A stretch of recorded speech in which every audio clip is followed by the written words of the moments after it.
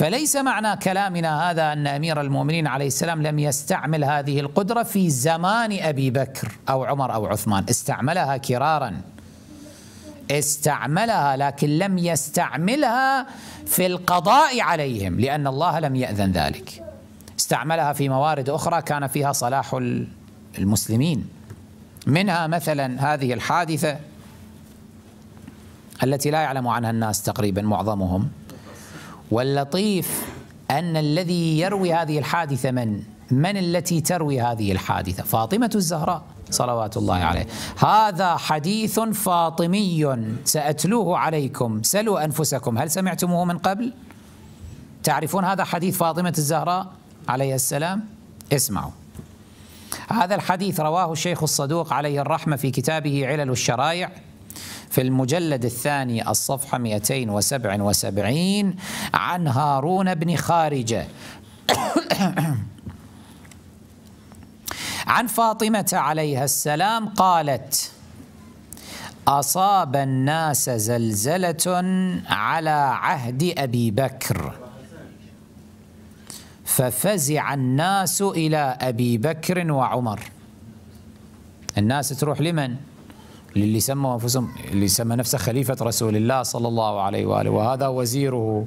يعني هذول المقدمين المفروض. تعالوا أنقذونا زلزلة عظيمة. ضعف الطالب والمطلوب. أصا تقول عليه السلام أصاب الناس زلزلة على عهد أبي بكر ففزع الناس إلى أبي بكر وعمر فوجدوهما قد خرجا فزعين. هم نفسهم متورطين وفي حالة فزع. وين إحنا؟ شو نقدر نسوي لكم؟ خرجا فزعين إلى من؟ إلى أبي الحسن. روحي فداه الله. هنا شوفوا في هذه المواقف تظهر العظمة. في هذه المواقف لما يصير ابتلاء يفزعون إلى من؟ إلى الخليفة الشرعي إلى, إلى إمام الحق. هنا يظهر إمام الحق من هو؟ عمرك شفعت علي عمرك شفت علي بن أبي طالب فزع إلى أبي بكر وعمر؟ ما موجود. خلي واحد خلي يطلع لنا دليل. خلي واحد يأتينا. يوم من الأيام علي بن أبي طالب فزع حتى ولو بمسألة فقهية مثلا. ما عرف حكمها فقال جاء إلى عمر وعمر علمه المسألة أو أبو بكر وثم قال لولا أبو بكر لهلك علي والعياذ بالله. ما موجود. دائما علي يؤتى لا يأتي. هم الذين يفزعون إليه يرجعون إليه ويقولون لولا علي لهلك أبو بكر لولا علي لهلك عمر لولا علي لهلك عثمان الله يغربلكم. ما دام الأمر هكذا لم لم تسلموا الأمر إليه؟ ما دمتم تقرون؟ هو الذي أنجاكم من المعضلات من الهلكات. حب الدنيا سلطان. كحال كفار قريش. كانوا يعلمون أن محمدا صادق صلى الله عليه وآله. قالها أبو جهل قبيل معركة بدر. ذات مرة قلتها في هذه الجلسات قبل يمكن أربع خمس أسابيع. ذكرتها إما في هذه الجلسات أو على المنبر. أنه قيل لأبي جهل قبل نشوب المعركة في بدر قيل له واحد سأله قال أنا الآن بيني وبينك. محمد هذا صادق أم لا؟ نبي من الله أم لا؟ قال والله إني لأعلم أن محمدا صادق.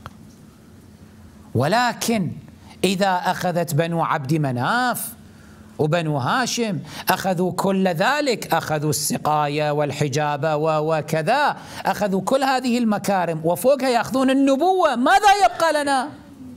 بعد هالمرة ما نتحمل إحنا ما نتحمل بعد فوقها النبوة هم يأخذون. إذا قضية تنافس دنيوي فلا يسلمون بالحق. هؤلاء نفس الشيء. هذا منطق عمر بن الخطاب.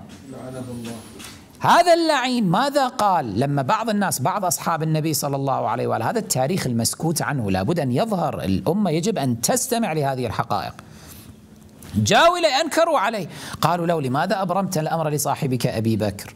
وتعلم أن رسول الله صلى الله عليه وآله قال من كنت مولاه فعلي مولاه وقال إني تارك فيكم الثقلين كتاب الله وعترتي أهل بيتي لا تتقدموهم فتهلكوا كذا. الحق في علي وأهل البيت لماذا لم تسلموهم؟ فقال كلاما له من جملته قال إن الأمر يحدث بعده الأمر وإن الله لا يرتضي أن يجمع النبوة والخلافة في بيت واحد. فماذا يبقى لبطون قريش؟ نفس المنطق. يعني القضية جاهلية قبلية أنه لا لازم نوزع إحنا السلطة فيما بين قبول بطون قريش وتتداول تتداول التداول السلمي للسلطة. لازم يصير هالشكل. ما يصير يكون ببيت واحد.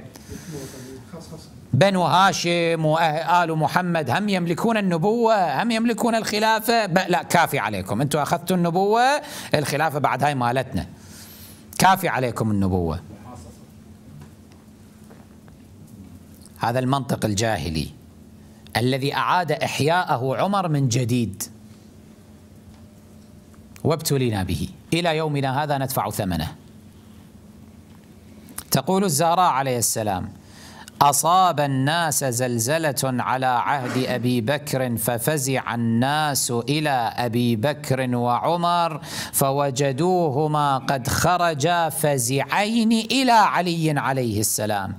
فتبعهما الناس إلى أن انتهوا إلى باب علي عليه السلام. فخرج إليهم علي عليه السلام غير مكترث لما هم فيه. الكل يرجف فزعا من هذه الزلزلة وعلي عليه السلام ثابت غير مكترث لا مبالي. فمضى واتبعه الناس حتى انتهى إلى تلعة فقعد عليها وقعدوا حوله. وهم ينظرون إلى حيطان المدينة ترتج جائية وذاهبة. فقال لهم علي عليه السلام كأنكم قد هالكم ما ترون. قالوا وكيف لا يهولنا ولم نر مثلها قط؟ قالت فحرك شفتيه الاسم الأعظم. ثم ضرب الأرض بيده. ثم قال ما لك؟ اسكني. فسكنت. فعجبوا من ذلك أكثر من تعجبهم أولا حيث خرج إليهم. كانوا متعجبين أنه شلون علي عليه السلام لا مبالي غير مكترث. لما رأوا هذا الموقف منه هذه المعجزة منه أنه ضرب بيده إلى الأرض بعدما حرك شفتيه وقال لها ما لك؟ أسكني أمر ولاية تكوينية فسكنت فورا وانتهت الزلزلة تعجبوا أكثر من, من الأول. قال لهم فإنكم قد عجبتم من صنعي أو من صنعتي؟ قالوا نعم. قال أنا الرجل الذي قال الله. إذا زلزلت الأرض زلزالها وأخرجت الأرض أثقالها وقال الإنسان ما لها فأنا الإنسان الذي يقول لها ما لك يومئذ تحدث أخبارها إياي تحدث. اللهم صل على محمد وآل محمد وعجل. فرجهم والعن أعداءهم سألنا الأخ السائل متى استعمل الأئمة عليهم السلام ولايتهم التكوينية؟ هاك أحداث